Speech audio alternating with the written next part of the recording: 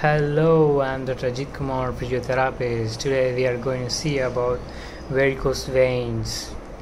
Are you sitting or standing for the long time in the same place? If yes, this video is for you. When you have varicose vein, you may see the uh, discolored skin, leg swelling, then um, dark green color or purple colored veins at the back side of your thigh or the calf region um, these are the common symptoms for the varicose vein. And it is common for the people those who are sitting in front of the computer for the long time like IT professionals then shopkeepers uh, then mm, barber shop uh, professionals uh, watchman policemen teachers. Yeah these are the common people may have varicose vein.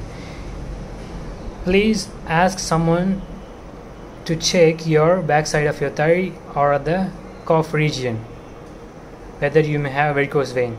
If you have one of these professionals like then you can prevent the varicose vein. First what is the varicose vein? When you stand or sit for the long time in the same place your blood creates more pressure inside your veins so you may have uh, swells or discolored veins at the back side of your thigh. Yeah. Then you can prevent the varicose veins by wearing these compression stockings. It gives more pressure and it prevents the blood stagnant in at the back side of your thigh. Then when you sit for the long time you can move your ankles like pedaling up and down movements then you can rotate your ankles. Uh, when you stand for the long time you should you can walk at least for the two minutes for the every hour. Yeah you can prevent the varicose vein.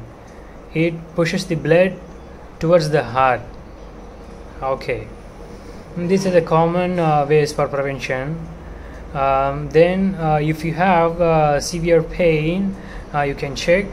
At the early stage you you don't have any pain. Yeah.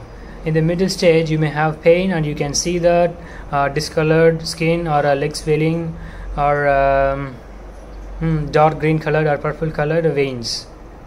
In the severe stage you may have venous ulcer. Please don't scratch the uh, varicose veins. Uh, it will lead to a venous ulcer. Yeah. Mm, then yeah it is all about uh, varicose vein. Uh, please uh, ask someone to check uh, your uh, backside of your thigh. In the early stage you have a spider veins red colored spider veins. It is the early stage. And it is common for the 30 percentage out of 100 yeah. Mm, yeah that's it. Uh, it is all about uh, varicose vein. Um, please uh, share to your family. Okay?